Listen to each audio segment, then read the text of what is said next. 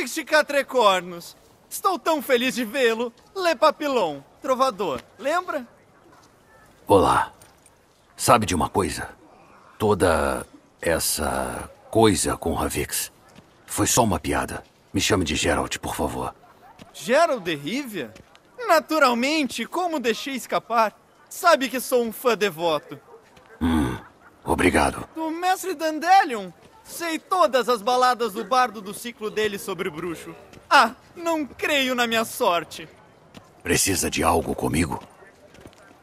De fato, uma questão magnífica. Meu coifer, Jean-Louis Ludovic, está desaparecido. Você irá resgatá-lo enquanto eu componho uma balada épica sobre o feito. Ouçam, meus caros, a um conto de glória de um fissor desaparecido e de um bruxo rumo à vitória.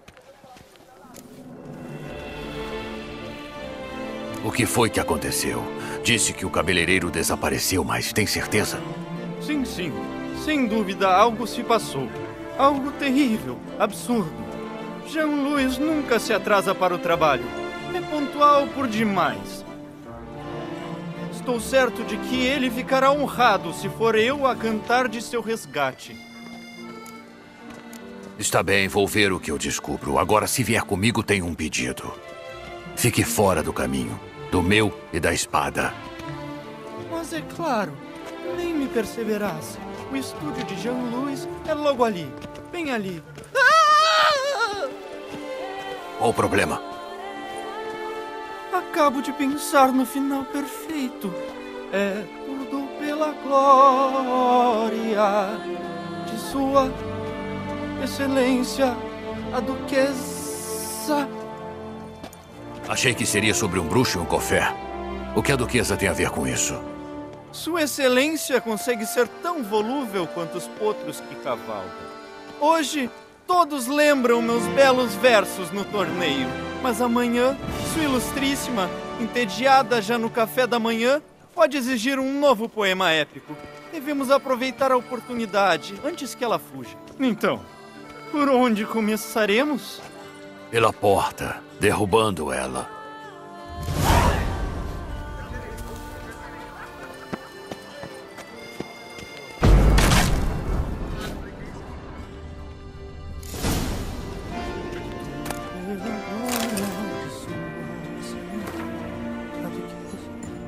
Vamos entrar!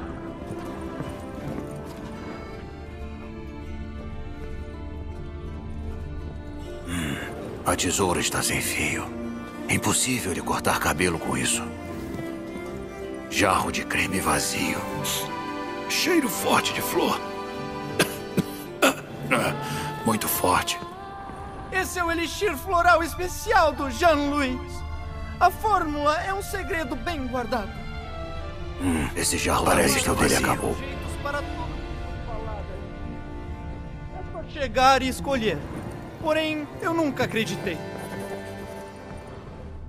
Precisamos de mais ação, emoção, uma reviravolta.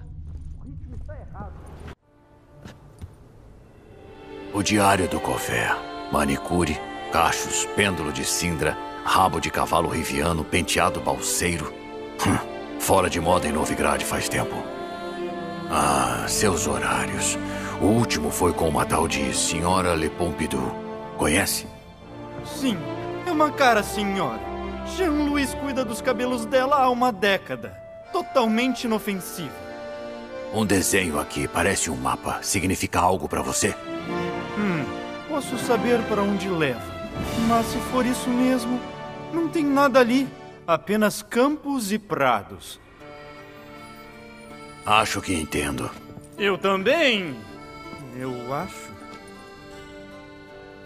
Ao redor ele olhou sempre com muito zelo. Vejo lâminas e cremes, mas nenhum raio de corta-cabelo. Se importa em ficar quieto um minuto, acho que sei o que aconteceu com o cabeleireiro. Nenhuma evidência de invasão, sem sinais de luta. Para mim, ele só saiu para comprar ingredientes de creme. Parece que o dele acabou. Sim, de fato. Ele pode ter ido nos prados além da cidade colher pétalas de flores para ele. Trolls devem tê-lo devorado. Ou o Cíclope. Ambos esplêndidos. Acha que consegue encontrar o lugar com o mapa dele? Naturalmente. Mostre o caminho então. Rumaram para além das videiras e muros, ao desconhecido para achar o barbeiro em apuro. Vai fazer isso no caminho todo? Eles disseram adeus, os túmulos cobertos de musgo. Eles marcharam com vigor, sem dúvida de seu rumo. Ah. Pois veja, o local apontado no mapa. Droga, afasta!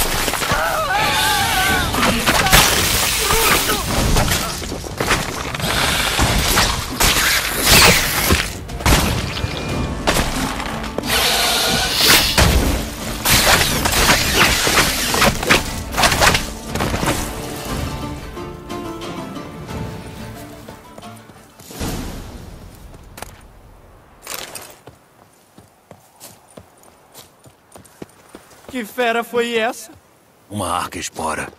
Será que tem mais por perto? Vai saber. E seus sentidos aguçados, o que dizem? Que é melhor você correr. Ótima piada. Vamos continuar em frente. Sei que vai me defender. Você vai, não vai?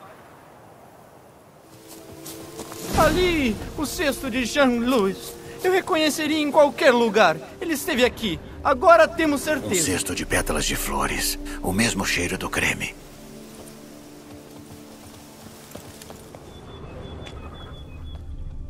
Ah, aqui, aqui. Isso parece. A grama está pisada. Pegadas de várias pessoas. Um pouco de sangue. Você tinha razão. Ele teve problemas. Ufa, que sorte. Só espero que não sejam cíclopes. Seria difícil fazer rimar. O chão é de pedra. Os rastros sumiram. Deve ter ido caverna adentro. Ora, uma escuridão tão profunda que incita o medo. O medo não inspira? Nenhuma rima pronta? Confie em mim, senhor cavalheiro. Esse penteado é a última moda. A corte de Covir não se vê outro. Nenhuma donzela resistirá. Palhaçada! Eu com certeza teria vencido aquele torneio. E teria Mademoiselle Vivienne esquentando.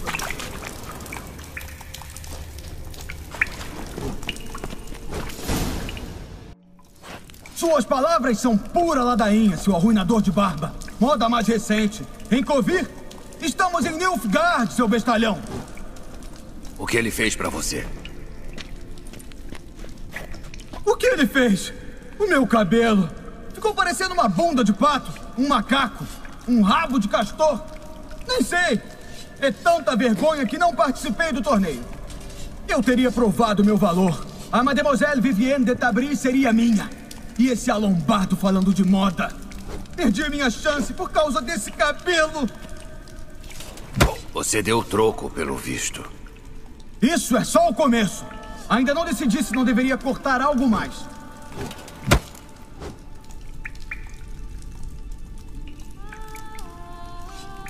É só cabelo, vai crescer.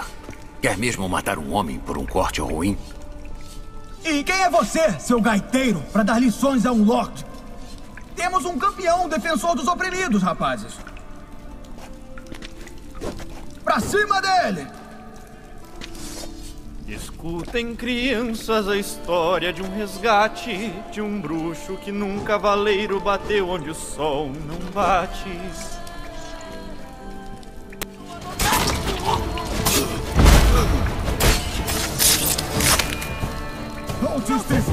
Colher e depois fazer o mesmo com aquele cabeleireiro.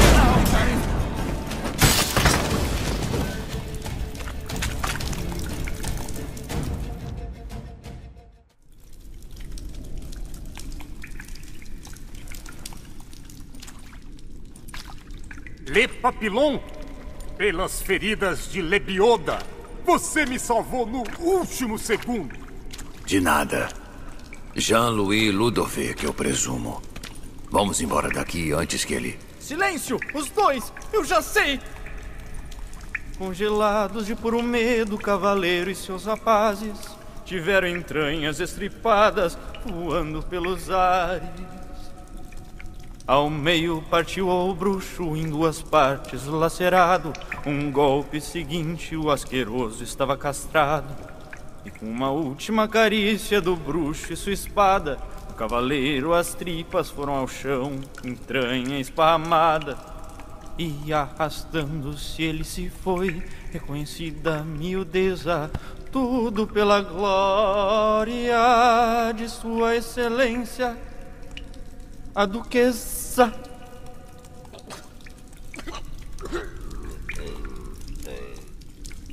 Bravo! Quase acreditei que você estava lá. Parece mesmo, né? Finalmente o mestre Dandelion tem um concorrente à altura. E o meu pagamento? Decidi que você merece receber uma boa parte dos royalties a serem pagos, digamos, semestralmente.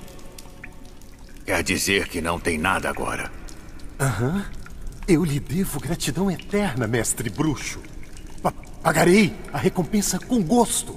E farei seus cabelos e barba quando quiser. Obrigado. Cuide-se.